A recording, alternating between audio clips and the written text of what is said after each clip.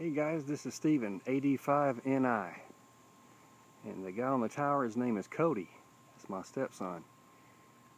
He's about 65, maybe 70 feet up right there. But anyway, we uh, took a Force 12 monster antenna from the tower and uh, we flew it right down here. it's Still too big to get a still picture, so I thought I'd do a video to we can kind of pan around and get an idea how big this thing was, or is. It's a Force 12. The model's unknown to me, but it's a big performer on 40 meters. You can see some big coils right there. It's a 40 meter element and uh, one on the other end. But anyway, we uh, managed to get it down. No bent elements. Everything went great. I mean, it wasn't easy, but we did it. If it was easy, everybody would do it. So we'll just stroll through here and get a idea what kind of an antenna we worked with.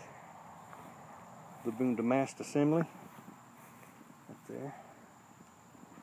Coming on out to the end go and walk on down here if I can keep from tripping. There's a big coil for 40 meters. And one right down there too. So anyway, my friends, there she is. And it came from right about there. And let me introduce you to the guy that did the climbing. Hey Cody.